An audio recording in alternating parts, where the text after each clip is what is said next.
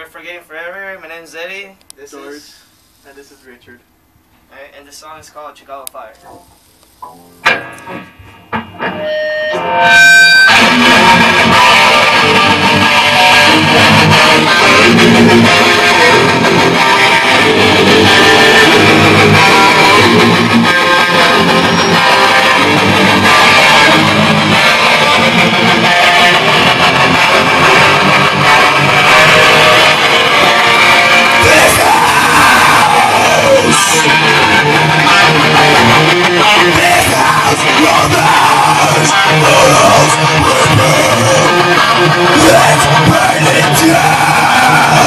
All